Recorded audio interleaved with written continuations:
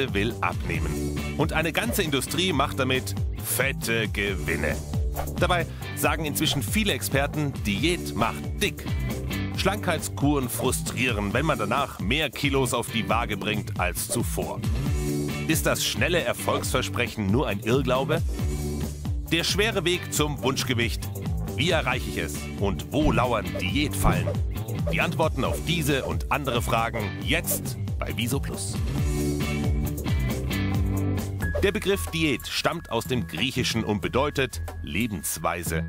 Schon der griechische Arzt Hippokrates, der Begründer von Wissenschaft und Medizin, forscht zum Thema Diätik. Gesundes Leben durch gesunde Ernährung. Auch in der traditionellen chinesischen Medizin sollen Krankheiten durch Diäten geheilt werden. Bei einer Diät geht es ursprünglich also gar nicht ums Abnehmen. Gesundheit statt Schlankheit.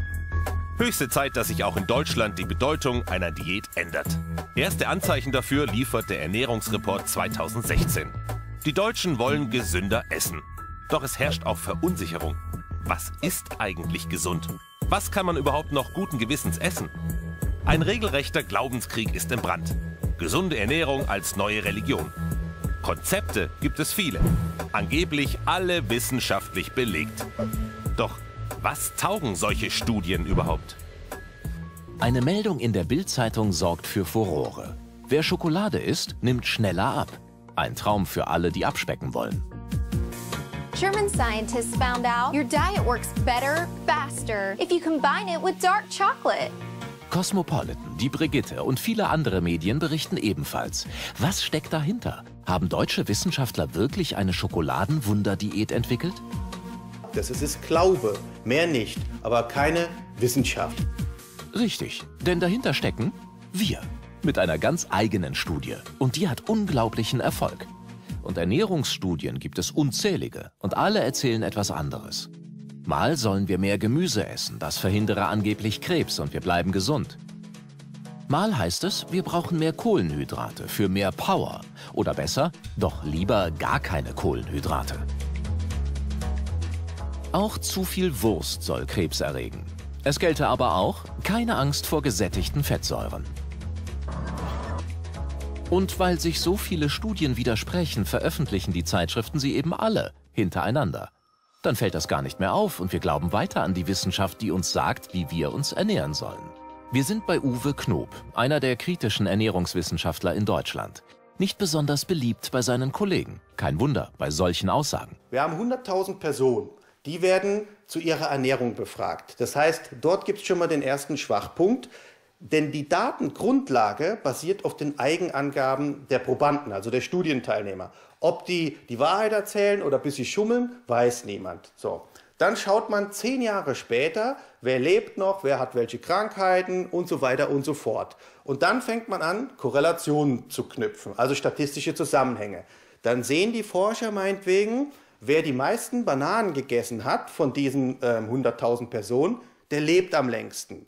Daraus wird dann konstruiert, Bananen verlängern das Leben. Also unsere Empfehlung lautet, liebe Leute, esst Bananen, denn dann habt ihr ein langes Leben. Besuch in Leipzig, Jahrestagung der Deutschen Adipositas-Gesellschaft. Hier tummeln sich alle, Ärzte, Pharmafirmen, Diätanbieter, Lobbyisten, Abgesandte der Lebensmittelindustrie. Für die Fachgesellschaft ist es die wichtigste Branchenveranstaltung des Jahres. Das Programm des riesigen Diätbasars ist klar. Informationen fürs spätere Kaufen und Verkaufen. Dabei ein gern genommenes Argument, die wissenschaftliche Studie. Die soll Ärzte und Übergewichtige davon überzeugen, dass ein Diäterfolg eben nicht Zufall, sondern belegt ist.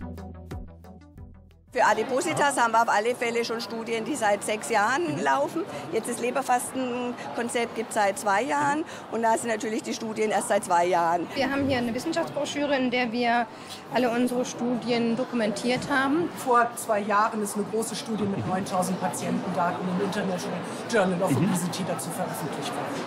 Und dann hat man gesehen, ähm, dass die Nussesser sozusagen eine bessere Elastizität der Blutgefäße haben, als die, die keine Nüsse gegessen haben. Also die haben gar nicht viel verändert in ihrer Ernährung, sondern nur die Walnüsse zusätzlich gegessen und es hatte positive Wirkung. Das mit den Nüssen merken wir uns schon mal. Wir sind auf dem Weg nach Heidelberg. Hier wollen wir mit einer eigenen Studie zu einem ähnlich abstrusen Ergebnis kommen. Der Allgemeinarzt und Diätkritiker Dr. Gunther Frank wird uns dabei helfen, in einer Studie zu beweisen, dass Schokolade schlank macht.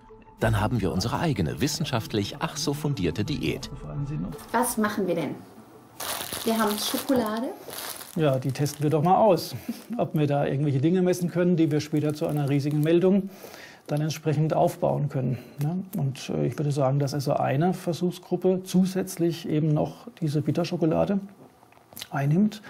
Bitterschokolade ist ja heute eher positiv belegt. Also das heißt, wenn da was Positives rauskommt, denke ich auch, dass das gerne dann auch produziert wird. Wir machen es uns nicht einfach, testen unser groteskes Diätkonzept auch bei Helga Wagner. Sie ist eine von 16 Probanden, die drei Wochen lang unseren Empfehlungen folgen werden. So, Weißkittel an und schon fühlen wir uns wie echte Wissenschaftler. Die Probanden haben keine Ahnung, dass sie da an einem Wissenschaftsschwindel teilnehmen. Einige von ihnen wollen wirklich abnehmen, andere lockt ein kleines Mitmachhonorar. Und doch werden alle mit uns zusammen Wissenschaftsgeschichte schreiben. Das Experiment kann beginnen.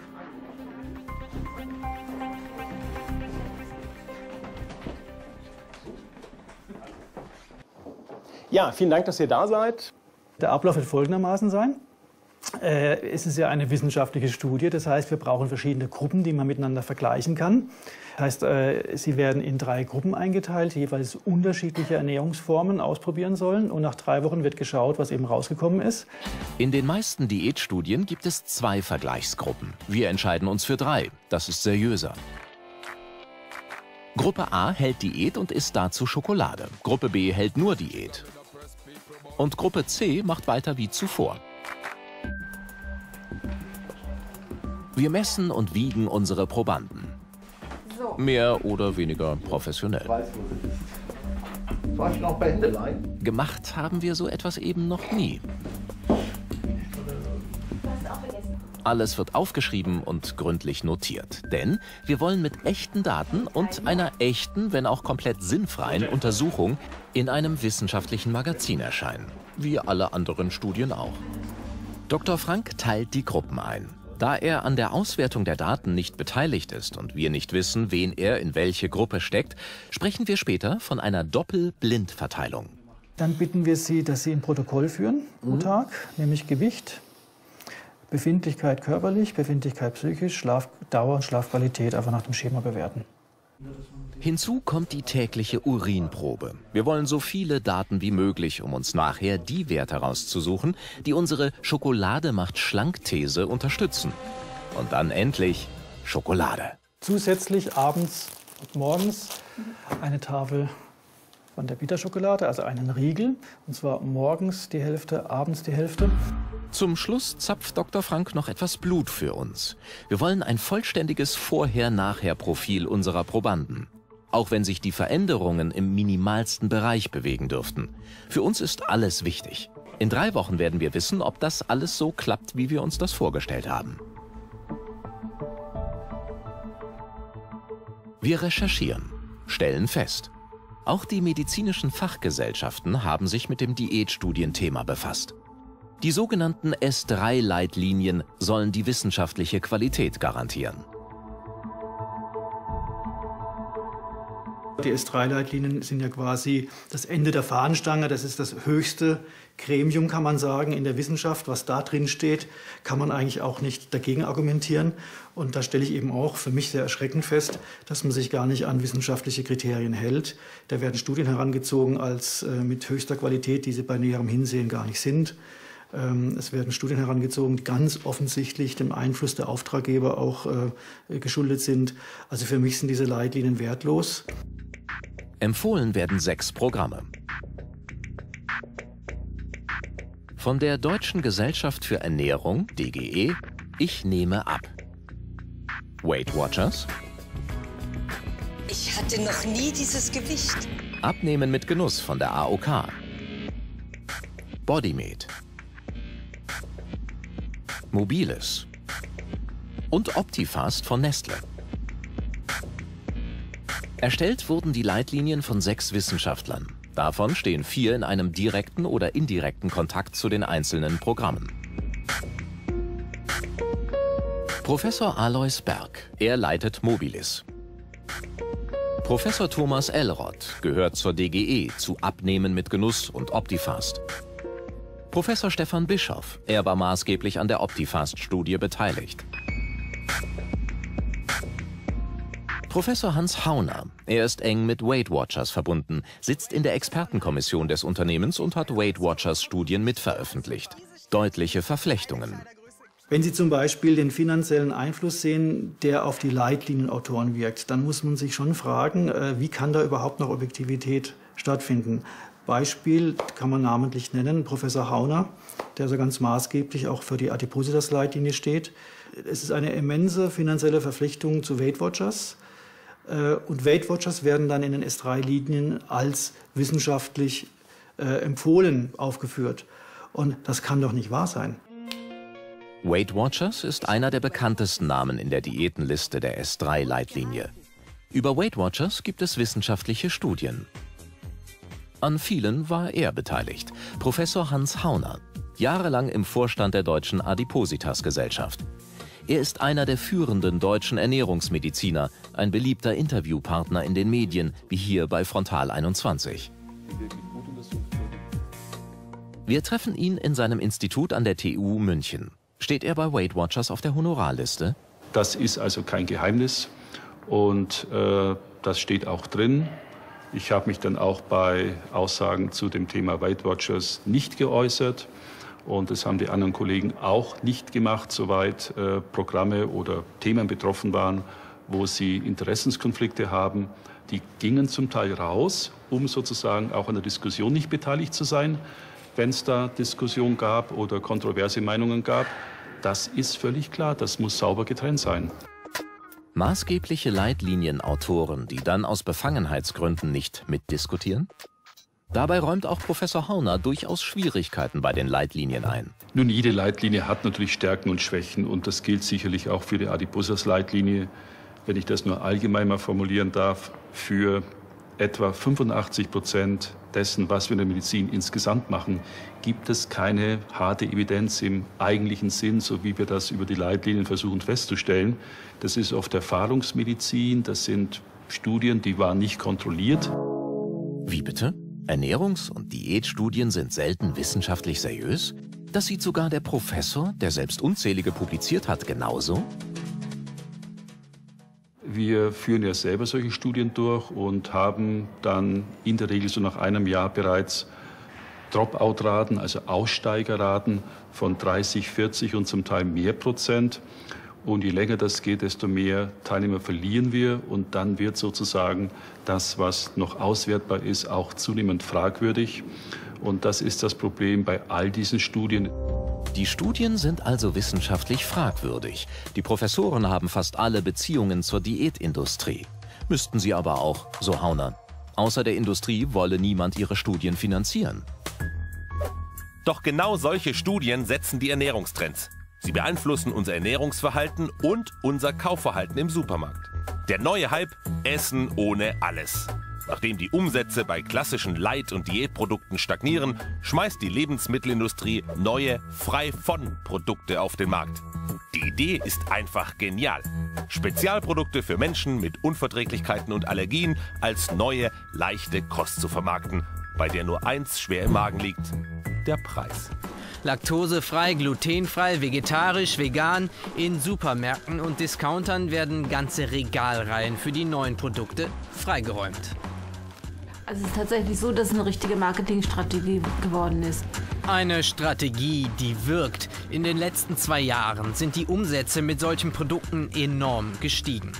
Bei laktosefreien Produkten stieg der Umsatz um 30 Prozent, bei glutenfreien Produkten waren es 58 Prozent und mit vegetarischen und veganen Produkten wurde sogar 78 Prozent mehr Umsatz gemacht.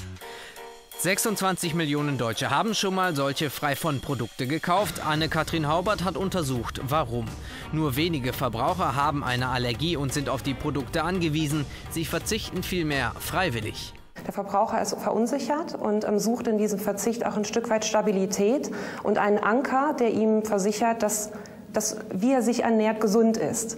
Weil ähm, wir wissen alle heutzutage, dass ähm, das, was wir essen, eine direkte Auswirkung auf unser Wohlbefinden hat. Aber dieses Gesundheitsversprechen ist falsch, sagen Verbraucherschützer. Es ist nicht so, dass ich mich glutenfrei ernähren müsste, um damit jetzt irgendwie besser zu leben, gesünder zu leben, schlanker zu werden. Das ist falsch. Das gleiche gilt für laktosefreie und vegane Lebensmittel, aber nur die wenigsten Verbraucher wissen das. Aus dieser Unkenntnis und Unsicherheit macht die Lebensmittelindustrie ein Geschäft. Da werden von Natur aus rein pflanzliche Sonnenblumenkerne oder Meersalz als vegan angepriesen oder glutenfreie Cornflakes mit großen Aufstellern beworben. Dieses Produkt ist sehr, sehr teuer. Und wenn ich es im Vergleich zu einem anderen Cornflakes-Produkt sehe, habe ich eigentlich nur einen einzigen winzigen Unterschied. Der Gerstenmalzextrakt ist durch einen braunen Invertzuckersirup ersetzt worden. Zum Vergleich, die glutenfreien Cornflakes kosten 2,99. Normale Cornflakes würden bei gleicher Menge gerade mal 71 Cent kosten. Beide Produkte bestehen zu über 90 Prozent aus Mais. Hersteller Nestle erklärt den hohen Preis mit einem größeren Aufwand in der Produktion. Ein anderes Beispiel, veganes Tomatenmark.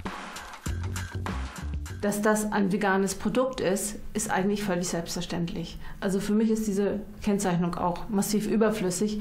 Auch hier ein krasser Preisunterschied. Das als vegan gekennzeichnete Tomatenmark kostet 1,79 Euro, ein vergleichbares Produkt nur 99 Cent. Der Hersteller teilt uns mit, man sehe die Kennzeichnung als Zusatznutzen für den Verbraucher. Die Liste ließe sich fortführen. Käse mit einem speziellen Vegetarier-Siegel, Natron mit den Prädikaten glutenfrei und vegan, schwarzer Tee mit dem Hinweis vegan, glutenfrei, laktosefrei.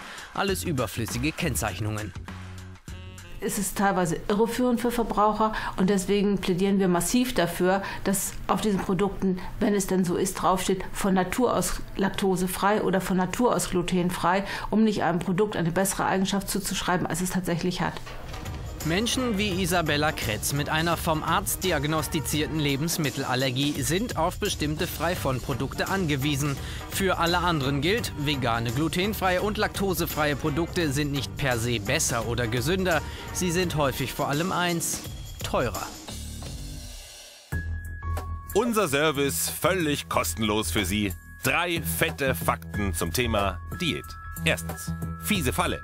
Der Klebefilm einer britischen Briefmarke hat 5,9 Kalorien, macht bei 100 Postkarten so viel wie eine Tafel Schokolade. Zweitens, zum Abtrainieren. Das Schauen eines krassen Horrorschockers wie The Shining verbraucht 184 Kalorien, immerhin zwei Schokoriegel. Drittens, Alternative für schwache Nerven. Eine leidenschaftliche Umarmung verbrennt mindestens 50 Kalorien, also eine ganze Praline. In Deutschland leiden 53 Prozent der Frauen an Übergewicht und 67 Prozent der Männer, Tendenz steigend. Oliver und sein Hund Oscar sind dicke Freunde. Gemeinsam wollen sie nun ran an den Speck. Der 46-jährige Oliver und sein Hund Oscar haben ein gewichtiges Problem. Beide bringen sie viel zu viel auf die Waage. Ihr Ziel? In drei Monaten wollen die dicken Freunde gemeinsam topfit werden. Schluss mit Hüftgold und Heißhungerattacken. Ich habe eigentlich äh, schon immer etwas Übergewicht, aber es schmeckt halt auch immer gut. Dicke Freunde auf Diät. Seit sechs Jahren sind Oliver und sein Oscar unzertrennlich. Hund und Herrchen verbindet eine große Leidenschaft, die für kleine Leckereien. So langsam wird das aber zum Problem ich esse halt gern und ja, da kam es dann natürlich immer so ein bisschen dazu, wurde langsam immer mehr. Oskar ist für mich die Motivation. Er hat ja auch ein bisschen zu viel drauf und zusammen wollen wir dann gucken, dass, es, dass wir was runterkriegen. Alexandra Tätz wird die beiden in den nächsten zwölf Wochen dabei unterstützen. Die 27-Jährige ist Fitnesscoach, Tiertrainerin und Expertin für den Muskelaufbau bei Hunden. Sie hat schon vielen Zwei- und Vierbeinern erfolgreich beim Abnehmen geholfen. Jawohl, gut gemacht. Leider ist es so, dass das Übergewicht bei Mensch und Hund viel zu selten wirklich ernst genommen wird. Und ich denke, wir haben eine große Verantwortung auch für unseren Hund, den wir bei uns halten. Und da sollte man schon darauf achten, dass man wirklich schaut, dass man zusammen fit und gesund sein kann. Alexandra macht sich auf den Weg zu Oliver in die Lüneburger Heide. Regelmäßig trainiert er dort mit Oskar und einer Freundin für den Einsatz in einer Rettungshundestaffel. Beim Mantrailing verfolgt der Hund die Spur eines Menschen. Zur Übung übergibt Anja Oliver eine Geruchsprobe und versteckt sich dann. Oskar soll die Fährte aufnehmen und sie finden. Für Alexandra ist die Übung eine gute Gelegenheit, sich ein Bild von der körperlichen Verfassung ihrer Schützlinge zu machen. Schon nach fünf Minuten ist Oliver völlig außer Atem. Während Oskar seine Aufgabe 1a erfüllt. Ja, fein, super, fein, klasse. Super, sah doch schon gut aus. Ja. Aber ganz schön anstrengend, gell? Ja, doch. Ja. Wie bist du denn aufs Mantrailing gekommen? Ich habe halt irgendwas gesucht, was ich mit ihm zusammen machen kann. Mhm. Agility ist nicht so seine Stärke, meine auch nicht. Beim Mentoring, da merke ich, dass ich teilweise nicht fit genug bin. Ähm, einfach, wenn längere Strecken äh, gelaufen werden müssen oder dann auch äh, die Geschwindigkeit höher ist, dann stoße ich doch an meine Grenzen. Olivers körperliche Verfassung ist schon sehr kritisch. Das heißt, es muss jetzt wirklich was getan werden, um einfach die Fitness und die Gesundheit zu steigern. Oliver ist hoch motiviert. Doch bevor es mit dem Training losgehen kann, muss er zum Gesundheitscheck. Der Kardiologe Dr. Quasem Muradi klärt zunächst die Eckdaten. Wie lange haben Sie Übergewicht? Oh, schon sehr lange, ja. Ist in letzter Zeit mehr geworden? Ähm, nachdem ich das Rauchen aufgehört habe, ja. Die harten Fakten. Olivers Bauchumfang liegt bei stolzen 144 cm. Und auch sein Gewicht ist beachtlich. 148,2. Dann geht es auf das Rad für das Belastungs-EKG. Dabei machen sich Folgen des Übergewichts deutlich bemerkbar. Ja, Fischer, die Belastungsuntersuchung zeigt, dass Sie schon eine Herzrhythmusstörung haben. Das sieht man an diesen großen Zacken. Deswegen ist es das höchste Zeit, dass wir das Gewicht unbedingt reduzieren müssen. Herzrhythmusstörungen können das Risiko eines Schlaganfalls um ein Vielfaches erhöhen. Es war schon ein Schock zu hören. Also habe ich jetzt eigentlich nicht gedacht. Aber es gibt einem doch noch mal zu denken. Auch Oskar muss zum Doc. Und auch bei ihm zeigt die Waage deutlich zu viel. Fast 45 Kilogramm. Dann merkt man schon, dass er unter der Haut im, im sogenannten subkutanen Bereich doch eine ganze Menge Fettreserven angesammelt hat. Man darf nicht vergessen, dass Übergewicht beim Menschen wie beim Tier Konsequenzen hat. Diabetes zum Beispiel auch und auch Probleme mit dem Bewegungsapparat. Was würden Sie als Tierarzt sagen, wie viel Kilo? Wenn er so vier bis fünf Kilo noch weniger hat, dann wäre das schon eine sehr schöne Geschichte. Ne? Und diesen Kilos geht es gleich am nächsten Tag an den Kragen. Ein Hausbesuch steht an. Mit dabei viele gesunde Lebensmittel, denn Alexandra ahnt bereits, was Oliver im Kühlschrank hat. Ja. Ui, da ist ordentlich was drin, ha? Ja. Also, was ich hier jetzt gerade zum Beispiel sehe, Mayonnaise ist natürlich ja. was, was sehr fetthaltig ist.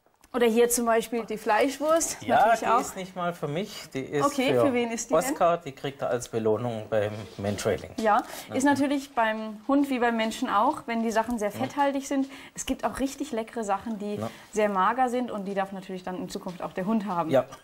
Weniger Fett also. Das war ja zu befürchten. Wurstfan Oscar schwant nichts Gutes. Wie viel bekommt er denn? Bekommt ähm, zweimal am Tag ungefähr bis zu der Unterkante. Einen ganzen Und, Becher. Ja. Okay, da sind wir bei knapp über 350 Gramm. Eigentlich gar nicht so schlecht. Ich vermute, der bekommt noch ein bisschen mehr. Ja, bekommt natürlich noch ein paar Leckerlis. Verschiedene, zum Beispiel so Fischchen. Ja. Ein, zwei am Tag oder werden das auch Na, dann mehr? können schon mal mehr werden. Okay. Also, Alexandras Ziel, in drei Monaten soll Oliver 20 und Oskar 5 Kilo verlieren. Ihr Plan dafür, eine radikale Ernährungsumstellung, zweimal die Woche Mantrailing und zweimal Nordic Walking. Einen Monat nach dem ersten Treffen, der Kontrollbesuch. Alexandra will prüfen, ob die beiden ihr Ziel erreicht haben. Oliver müsste jetzt 8, Oskar 2 Kilo weniger auf die Waage bringen. Oh, hallo Oskar, na? Sieht ganz anders aus. Und das hat einen Grund. Als Oliver mit Oskar gestern beim Tierarzt war, zeigte die Waage 42 Kilo. Das heißt, Ja. in vier Wochen drei Kilo. Oskar ist sogar ein Kilo über seinem Soll. Kann Oliver da mithalten? Okay, dann Jetzt bin ich gespannt. 139, wow, das Ja, ist wirklich schon so. richtig gut. Mhm. Das heißt, du hast jetzt 9 Kilo abgenommen in vier Wochen. Etappenziel mehr als erreicht. Und auch Olivers Bauchumfang ist geschrumpft, um ganze 9 Zentimeter. Also dürft ihr jetzt wirklich mal stolz auf Ja. euch sein. Erfolgserlebnisse motivieren. Alexandra will testen, ob sich das auch bei der Fitness zeigt. Ziel wären heute 30 Minuten und siebeneinhalb Runden, weil dann wären wir bei 6 km/h und das wäre bei deinem jetzigen Fitnesszustand dann ideal. So, du bist startklar, auf die Plätze, fertig, los. Olivers Aufgabe, in 30 Minuten soll er drei Kilometer zurücklegen. Schafft er das, hat er genau das richtige Tempo, um ordentlich Fett zu verbrennen. So, die erste Runde sieht schon richtig gut aus. Jetzt hast du knapp vier Minuten gebraucht. Oliver gibt richtig Gas. Aber kann er das Tempo auch über die ganze Strecke durchhalten? Die Uhr tickt unerbittlich. Doch der 46-Jährige hat in den vergangenen Wochen offenbar gut trainiert. Oliver macht sich richtig gut, er wird immer schneller. Ich bin überrascht. Und wie fühlst du dich jetzt? Kaputt. Ja, das glaube ich dir. Das darf man dann auch sein. Wie war es für dich während der Runden? Es ging. Ich habe mir schlimmer vorgestellt. Ja? Wenn es erstmal geschafft hat, ist ein schönes Gefühl, oder? Ja. Motiviert dann hoffentlich auch zum Weitermachen. Doch. Jetzt ist Oskar dran. Auf der Wiese nebenan gibt es für ihn eine extra Trainingseinheit. Ja, hast du schon mal Apportiertraining mit Oskar gemacht? Na, nicht so wirklich. Also nur Stöckchen schmeißen, aber da hat er nicht so wirklich die Lust dazu. Deswegen muss der Rüde motiviert werden. Alexandra macht es vor. Zunächst muss sich Oskar für den Dummy interessieren. Bringt er ihn zurück, bekommt er eine Belohnung. Fettarm natürlich. Die Vorteile liegen auf und für Oskar in der Hand. Gerade beim Apportieren kommen Mensch und Hund gleichermaßen in Bewegung und der Oskar wird auch vom Kopf noch mal so ein bisschen ausgelastet. Aber Oskars Fitnessdefizite zeigen sich schnell. Schon nach kurzer Zeit kommt er an seine Grenzen. Man hat jetzt beim Apportiertraining gesehen, dass Oskar gar nicht so viel Kondition hat in diesem Bereich. Das heißt, da müssen wir jetzt an der Fitness arbeiten. Der neue Plan. Oliver soll täglich 1200 Kalorien zu sich nehmen. Wie gehabt zweimal wöchentlich walken und zusätzlich noch zweimal die Woche Radfahren. Haben wir uns was zu essen verdient, oder? Ja. Ja. Akribisch hat Oliver im letzten Monat über seine Mahlzeiten Buch geführt. Das erleichtert Alexandra nun die Analyse. Hat die Ernährungsumstellung funktioniert? Um es Oliver leichter zu machen, hat die Trainerin ihm sogar ein individuelles Kochbuch geschrieben. Mit exakten Kalorienangaben pro Portion für bewusstes Kochen. Ist dir das leicht gefallen mit der Ernährungsumstellung? Schwierig fand ich, wenn wir essen gehen wollten. Ja. Vor allem beim Chinesen. Du darfst ruhig essen gehen und auch mal äh, dir das Gericht gönnen, was du gerne möchtest. Ja. Wichtig ist dann aber, dass Oliver vorher und nachher die entsprechenden Kalorien einspart. Während das Hähnchen in der Pfanne brutzelt, wirft Alexandra einen Blick in den Kühlschrank. Das sieht ja schon ganz anders aus hier im Kühlschrank. Mal ein paar frische Produkte sind mit dazugekommen. Das Geheimnis eines guten Diätgerichts gilt für Hund und Härchen gleichermaßen. Es schmeckt nicht nach Diät und lässt trotzdem die Pfunde purzeln. Freunde und Bekannte haben dann doch auch schon gesagt, ja, man sieht was. So. Das ist schön, das motiviert. Oliver, ich hab dir auch Alexandra hat sich in der Zwischenzeit Olivers Essensplan angesehen. Dabei ist ihr besonders eine Schwachstelle aufgefallen. dass du wirklich auch wenig Kalorien teilweise zu dir genommen hast. Und das funktioniert auf lange Sicht nicht. Das heißt, du Ja. wirst an den Punkt kommen, wo es wirklich schleppender geht. Das habe ich letzte Woche schon gemerkt. Aha. Also da ging es schon langsamer. Um den gefürchteten Jojo-Effekt zu vermeiden, darf Oliver jetzt trotzdem mit dem Hungern nicht übertreiben. Nur so kann er wirklich nachhaltig abnehmen. Vorsicht, Jojo-Effekt. Wie reagiert der Körper auf eine Diät? Alles, was wir essen, wandelt der Körper in Energie um. Nahrung bedeutet Energiezufuhr. Gleichzeitig wird durch geistige oder körperliche Aktivität Energie verbraucht. Halten sich Zufuhr und Verbrauch die Waage, halten wir unser Gewicht. Essen wir mehr, als wir verbrauchen, steigt unser Gewicht. Essen wir weniger, als wir verbrauchen, sinkt unser Gewicht. Nicht automatisch. Denn der Körper erkennt den potenziellen Notstand und schaltet auf Sparmodus. Die Muskeln arbeiten effizienter und schaffen auch bei verringerter Energiezufuhr die gleiche Leistung.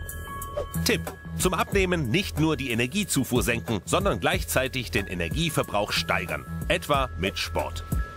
Und dann gut aufpassen. Wer nach einer Diät wieder wie vorher isst, nimmt gleich wieder zu, wenn sich der Körper noch immer im Energiesparmodus befindet. Das ist der Jojo-Effekt. Zwei Monate sind seit dem letzten Treffen mit Trainerin Alexandra Tätz vergangen. Gleich sollen die beiden ihre Fitness auf dem Trimmdichtpfad testen. Denn schon morgen ist Prüfungstag. Nun also Generalprobe. Ein 4-Kilometer-Lauf, Beinübungen und Liegestütze stehen auf dem Programm. Nicht zu schnell, wirklich langsam arbeiten, dass du beim Runtergehen die Kraft spürst und auch wieder beim Hochdrücken. Fünf Wiederholungen. Dann hat Oliver sein Pensum für heute erreicht. Super. Reicht erstmal. Genau. So, als nächstes ist Oskar dran. Ich habe noch mal was zum Apportieren mitgebracht. Und diese Bank können wir auch gut als Hindernis beim Apportieren einbauen. Yep. Sitz, bleib, Apport. Diese Übung soll Oskars Beinmuskulatur trainieren. Und weil das auf Anhieb gut klappt, bekommt der Rüde zur Belohnung ein Leckerli. Kalorienarm, natürlich. Schnell steht fest, Oskar scheint topfit zu sein. Und auch Oliver fühlt sich gut vorbereitet. Das wochenlange intensive Training zeigt Wirkung. So stand es vor drei Monaten um Oliver.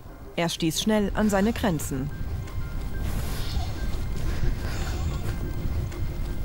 Und heute, auch wenn es unter den Klamotten nicht direkt ins Auge springt, Oliver hat spürbar abgenommen.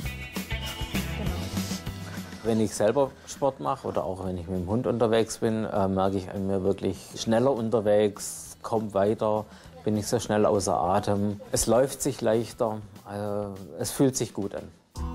Ob sich Alexandras Eindruck bei der ärztlichen Untersuchung bestätigt? Ein Kontrollbesuch bei Dr. Quasem Muradi wird es zeigen. Das erste Mal, wo ich hier war, das Gefühl, das war doch unangenehm und ja, wir müssen mal gucken, wie es jetzt aussieht. Vor drei Monaten noch. Stolze 144 cm Bauchumfang hat das Maßband damals gezeigt. Da müsste sich jetzt eigentlich was getan haben. 128. Minus 16 cm. Das sind gut drei Kleidergrößen. Alexandra stellt inzwischen beim Tierarzt Oskar auf die Waage. Es wird spannend. Fünf Kilo sollte er abnehmen. Vor drei Monaten wog Oskar beinahe 45 Kilo. Und tatsächlich, Ziel erreicht. Rund 40 Kilo. Das sieht doch super aus, Oskar. Hm? Hast deine 5 Kilo geschafft? Beim Kardiologen schlägt zeitgleich auch für Oliver die Stunde der Wahrheit.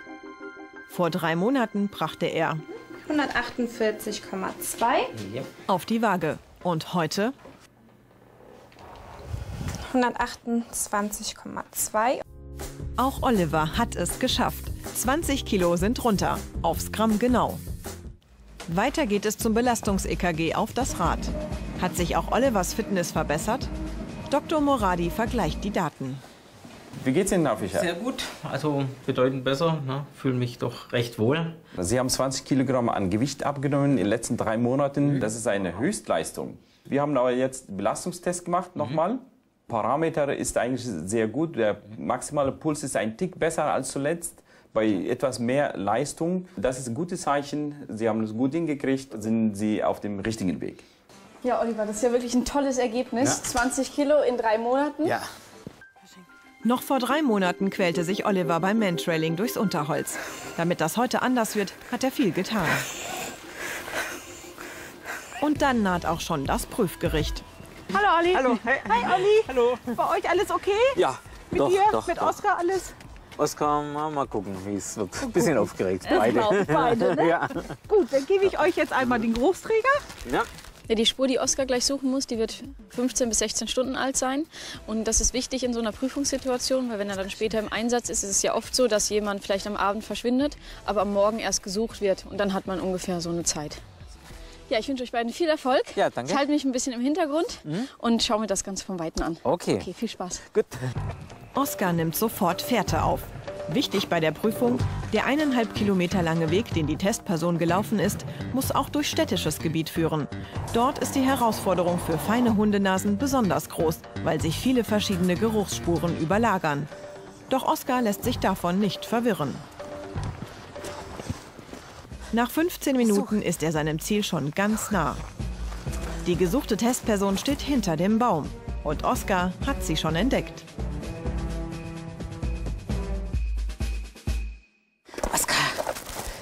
Ja, fein. Ja, klasse. Olli, das war sehr gut. Schön. Dankeschön. Darf ich euch gratulieren? Ihr habt ihr alles super gelöst. Danke. Ja, herzlichen Glückwunsch. Wunderbar. Oskar bekommt Leckerli, Oliver ein Zeugnis. Für mich persönlich habe ich doch noch gelernt, dass ähm, wenn man doch der Wille hat, dann kann man auch doch einiges erreichen. Und das haben die beiden in den vergangenen drei Monaten eindrucksvoll bewiesen. Die Erfolgsformel der beiden? Eine ausgewogene Ernährung, regelmäßige Mahlzeiten und viel Bewegung. Dazu Ausdauer und Disziplin. Klingt logisch. Klingt plausibel und ist doch so schwer. Warum tappen wir immer wieder in die Diätfalle? Wer Schokolade isst, nimmt schneller ab. Ein Traum für alle, die abspecken wollen. Dahinter stecken wir mit einer ganz eigenen Studie. Und die hat unglaublichen Erfolg. Der Druck, dünn zu sein. Jeder kennt ihn, auch unsere Probandin Mona Klotzbücher. Also für mich persönlich spielt schon eine wichtige Rolle, ähm, weil ja, ich mache mir schon Gedanken darüber, was ich esse auch. Ähm, und ich habe ein sehr, sehr schlankes Umfeld auch. Und von dem her lasse ich mich da auch beeinflussen, dass ich äh, selber eben ein paar Kilos gerne los hätte. Und daher spielt es schon eine Rolle für mich. Ein Kilo hat Mona mit uns abgenommen. Und sie ist streng mit sich, wenn sie zu viel wiegt. Ja, als Niederlage würde ich es jetzt nicht bezeichnen, aber es ist schon ein Zeichen dass für mich, dass ich halt nicht diszipliniert genug war.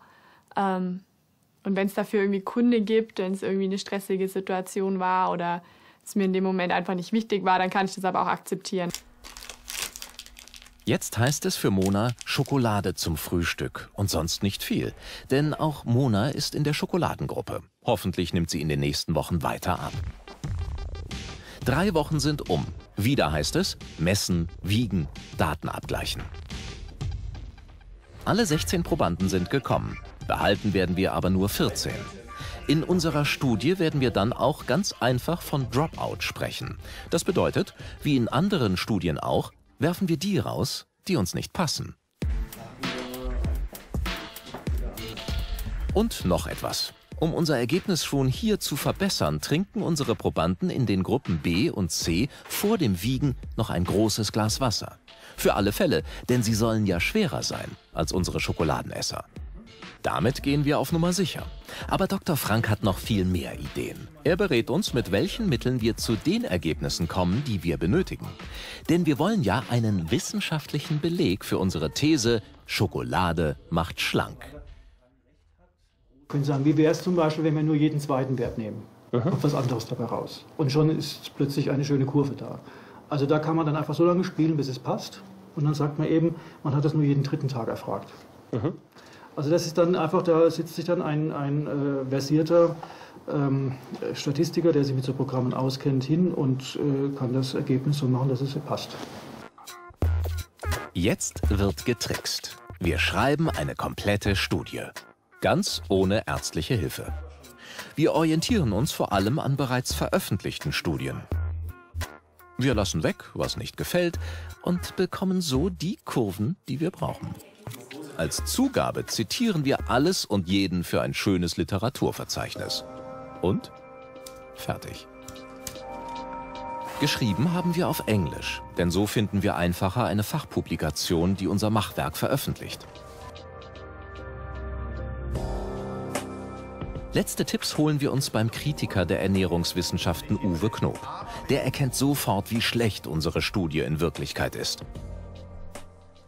Also wenn Sie diesen Unsinn jetzt als äh, real existent verkaufen möchten, wäre der erste Schritt der, dass Sie versuchen, dieses sehr schlechte Paper in einem Journal unterzukriegen. Das muss veröffentlicht werden. Dann haben Sie eine Originalpublikation und auf Basis dieser Originalpublikation erstellen Sie dann eine Pressemeldung, die Ihre Botschaften so enthält, ähm, wie Sie es wollen. Das ist das System, wie es funktioniert. Das wird an die Medien lanciert und dann kann es natürlich sein, wenn die entsprechenden Medien sich dieses äh, Paper im Original nicht anschauen, sondern auf ihre Pressemitteilung vertrauen, wo sie im Prinzip Märchen erzählt haben, dass sie dann entsprechende Publikationen generieren und irgendwo auf dem Titel steht, Schokolade macht schlank.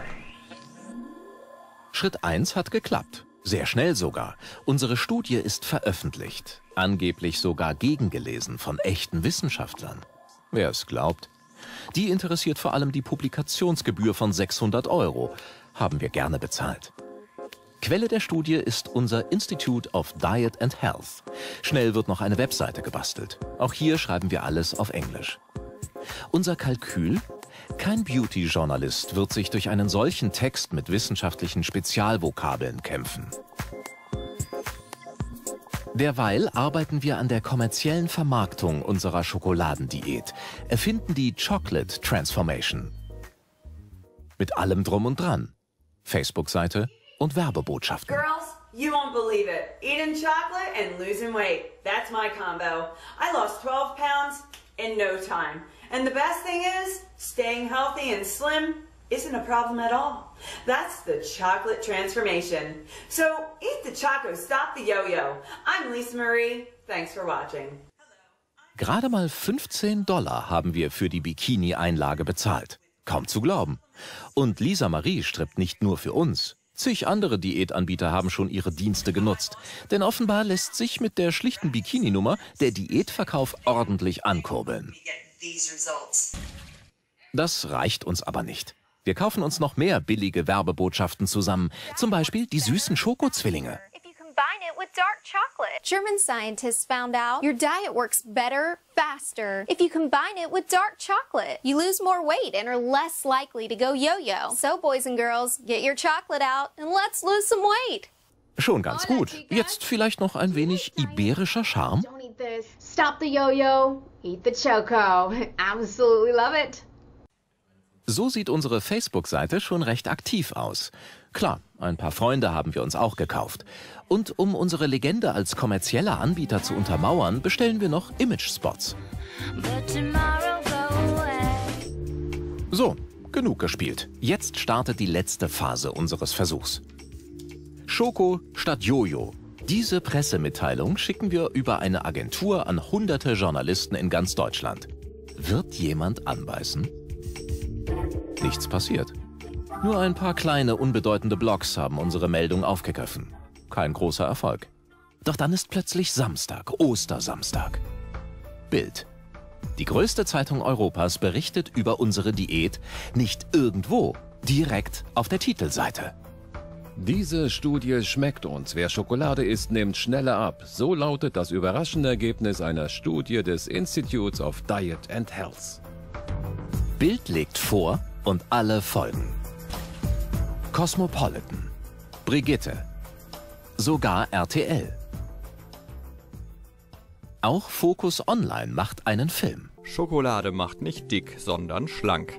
Zu diesem Ergebnis jedenfalls kommt eine Studie des Institute of Diet and Health aus Mainz, das sich selbst als gesundheitswissenschaftlicher Non-Profit Think Tank beschreibt.